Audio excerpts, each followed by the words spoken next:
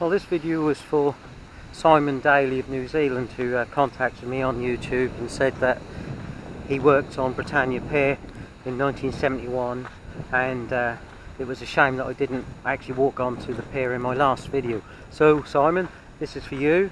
Um, again, I'm in Great Yarmouth.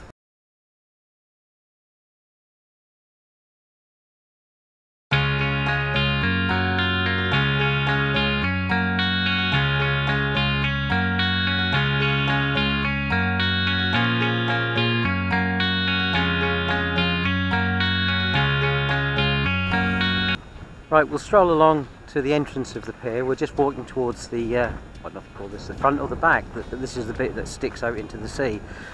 The first pier opened in 1858 and was 700 feet long, but um, there was a small accident uh, because the end of it was hit by a schooner called the James and Jessie. That caused so much damage it reduced the length of the pier by 50 feet. Now, since that time the uh, pier hasn't had a run of good luck. In the 19th century the pier was used for open air concert parties and in 1880 a purpose-built enclosed area was built. By the beginning of the 20th century Great Yarmouth was becoming a prosperous seaside town and with this in mind they decided to replace the pier's original construction with wood and steel. A grand 2,000 seat pavilion was constructed as well. This major facelift was the beginning of the 1900s and officially opened again in June 1902 after the construction was finished. The pier had a spell of bad luck with fires. 1909 saw the pavilion burn to the ground. A second pavilion was built and a year later that, was, that caught fire in 1914 which was probably arson. The Floral Hall Ballroom opened in 1928 and in 1933, guess what, up in flames. 1933 another rebuild and ironically that survived World War II. Great Yarmouth was heavily bombed during World War II as it was a major port and harbour town. But in 1954 you've guessed it, the pavilion caught fire and was destroyed in a big blaze. The fourth and present day pavilion was rebuilt and opened in 1958 and is home to Britannia Piers Theatre. This is entirely constructed of asbestos so that will never burn, burn, but it will pop, crack and explode if there was a major fire here.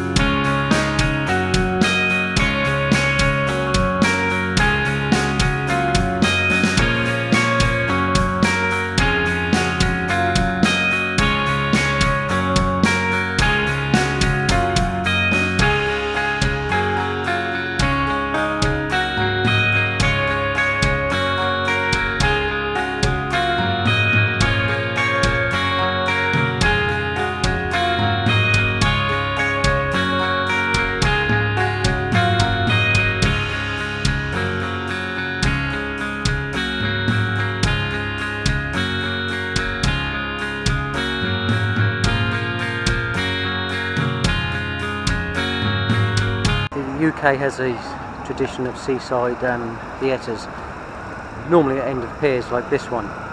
As you can see that there's quite a lot going on in 2017.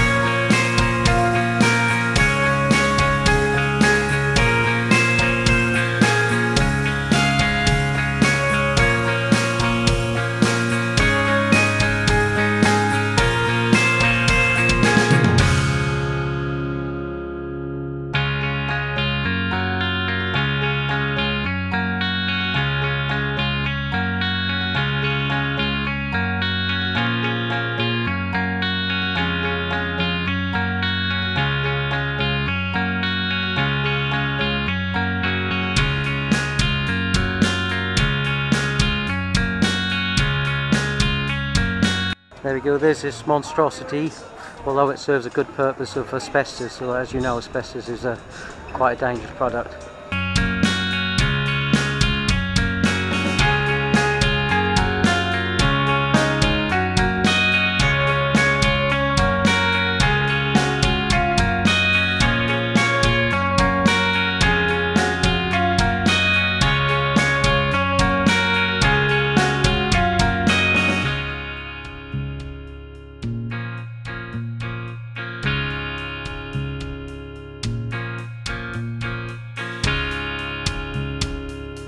Nice fluted effect.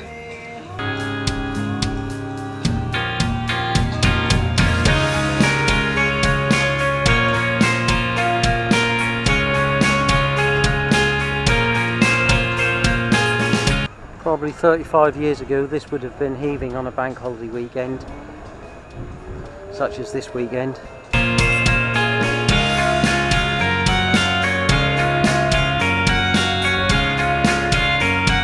Times change, good or bad, who knows.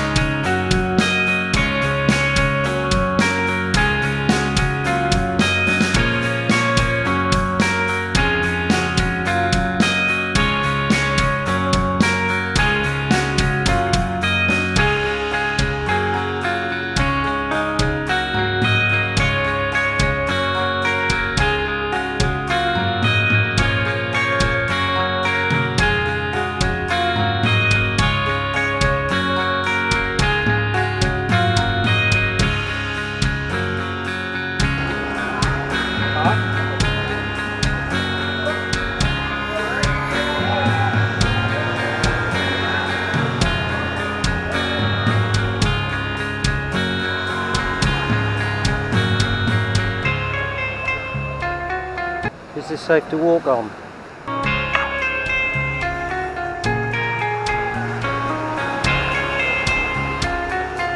I can remember coming here as a child, coming here as a child, and the sea was always under the pier.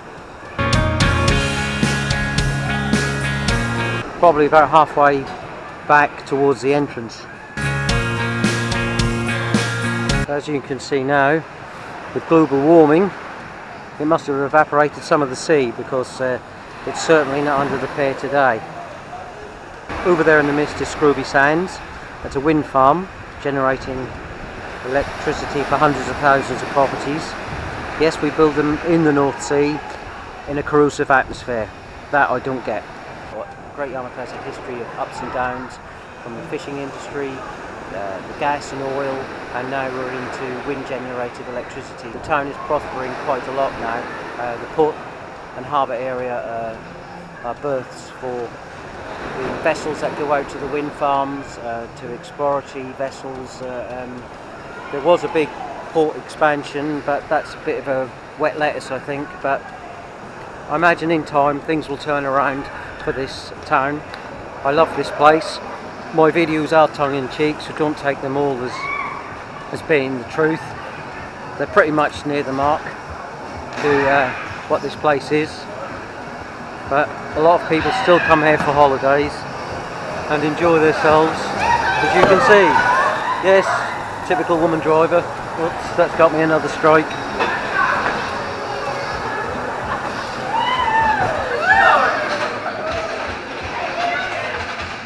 Well Simon, I hope the uh, video has taken you back to 1971. I don't know if this is the bar you worked in.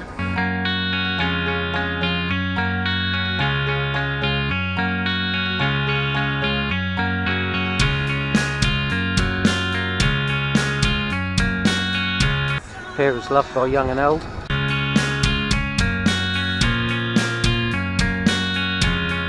many happy family memories.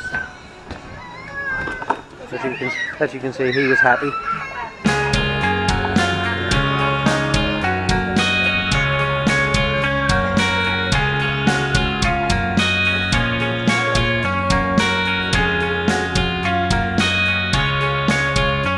Sorry about the weather. It's a bit grey.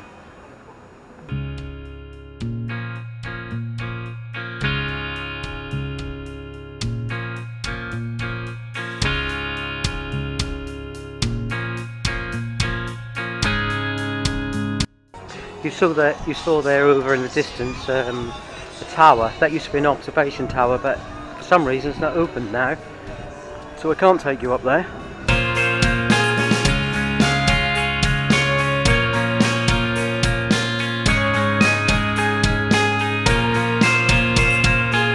Pleasure Beach over in the distance, you can see the big wheel.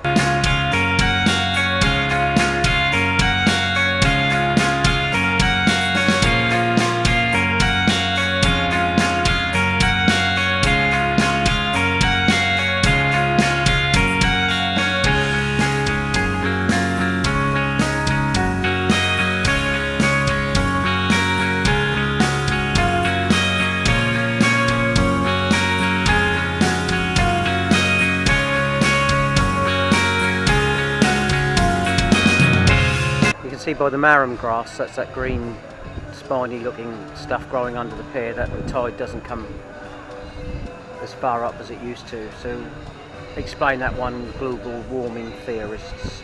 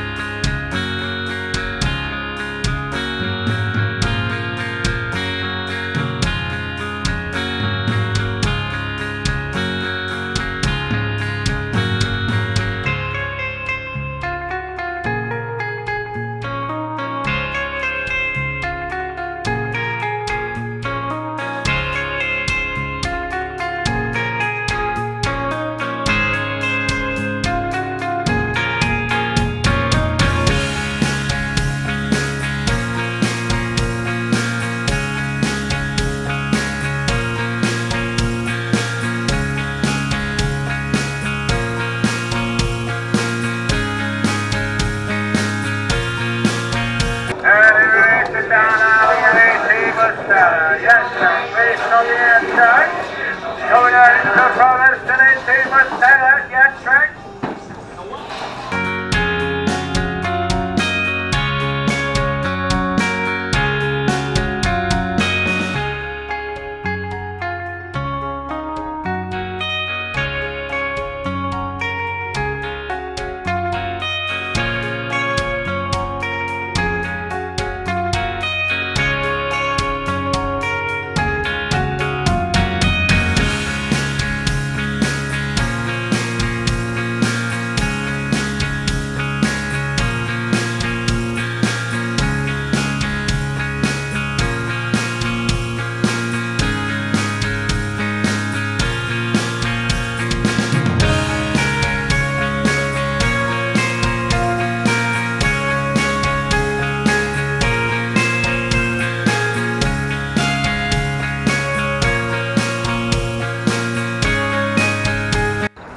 Friends on YouTube, was a whistle stop tour of Britannia Pier.